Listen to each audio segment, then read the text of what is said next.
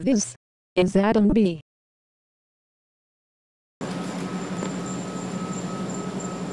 And once again, it's Adam B's Nature Minute.